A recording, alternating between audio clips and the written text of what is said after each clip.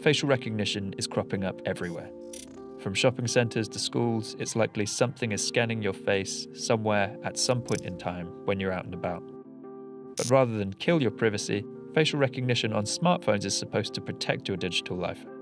We decided to test that theory by looking at the security of various Android and iPhone facial recognition systems. And we did this with a 3D printed head, seeing which phones would open when being presented with the fake.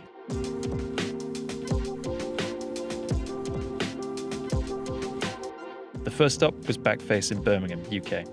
It's a small company founded by Tim Millward that makes 3D printed models for all manner of customers, from filmmakers to government suppliers. Tim, can you tell us what, what we're actually looking at? Well, this is our 3D scanning rig. Um, it consists of 96 DSLR cameras, which all fire at the same time, and that captures all the data that we can then use to produce a 3D scan. So we're gonna, we're gonna pop you in here, we're gonna process all that data, and then we'll produce a 3D printed head.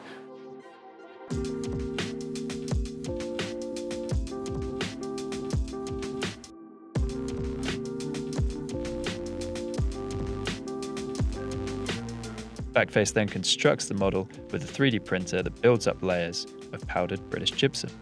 Then some final colourings are added and the life-size head is ready within a few days, all for just over 300 quid.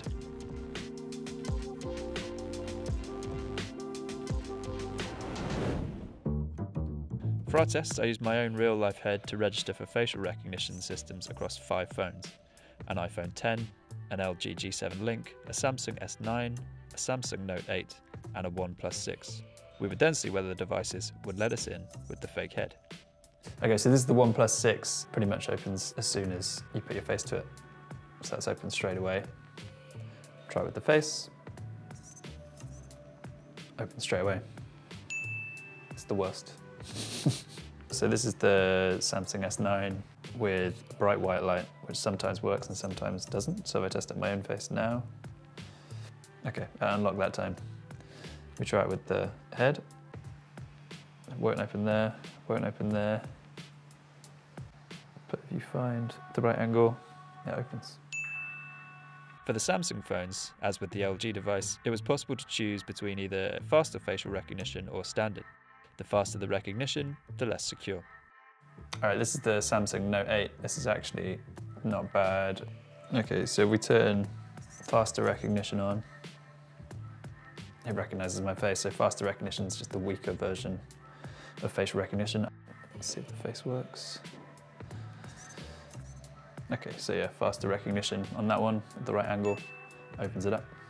Okay, so we're now gonna test on a softer, warmer light because um, we think that it's gonna work a little bit better. Now we're gonna try it with the slightly harder facial recognition. It's a slower version of facial recognition, so it should be more secure. Um, we'll try it with my normal face unlocks fairly quickly. So when I try it with the, the fake head,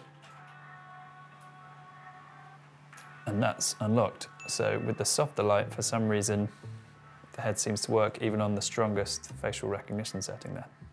The LG device was, for the most part, impenetrable. Though in the right light and on a lower security setting, it was possible to break in on occasion. As for the iPhone, the fake couldn't find a way in. Apple's heavy investment in the security of Face ID really does seem to have paid off here. I think if you have genuine concern about the possibility of somebody spoofing your biometric and unlocking your phone, I would say focus on the uh, the secret aspect, which is the PIN or the password.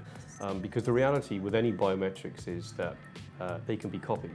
I guess anybody with enough time, resource, investment uh, and objective will, will invest that time and resource to maybe know, try and uh, spoof some of these biometrics. So the, you know, the, the best way to keep your data secure will be through the secrets, which only you will keep in your head.